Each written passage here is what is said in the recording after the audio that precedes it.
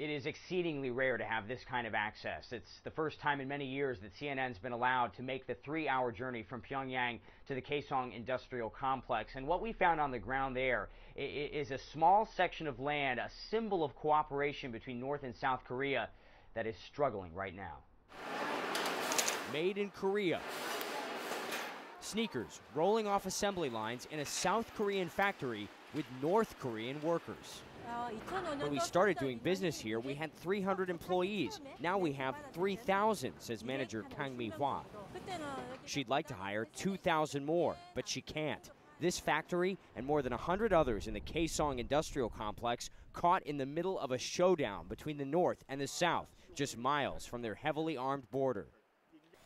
There was so much hope at this historic summit in 2000, a landmark deal between Pyongyang and Seoul establishing two cooperative projects, South Korean businesses on North Korean soil. One of them, the Mount Kumgang tourist region, closed after a North Korean security guard shot and killed a wandering tourist in 2008.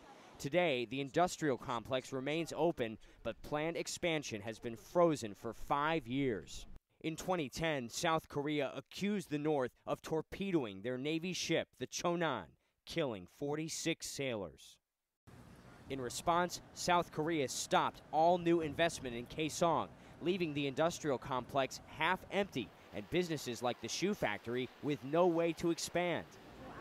Because of the restrictions, we can't fill huge orders and meet high demands, she says. Every morning and every evening, 270 buses help transport 52,000 North Koreans back and forth to work. These buses stopped for several months in 2013. Escalating tensions led North Korea to pull all the workers out. The crisis triggered by North Korean anger over joint military exercises between South Korea and the United States. Now, a new dispute over worker pay is threatening business again. Wages are paid directly to Pyongyang. North Korean complex managers, including Pak Chol Soo, are demanding a wage increase of $4 a month. We believe the attitude of the South Korean government is hurting the lives of workers here, he says. South Korea objects to a wage hike, saying the North is going around the rules by unilaterally declaring a new minimum wage without consulting with the South. Assembly lines keep rolling as the crisis deepens. At risk, the last remaining symbol of inter Korean cooperation and the livelihoods of tens of thousands of workers and their families.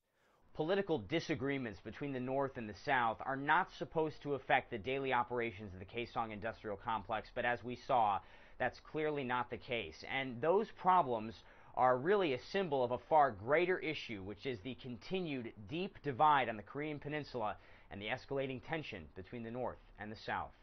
Will Ripley, CNN, Pyongyang, North Korea.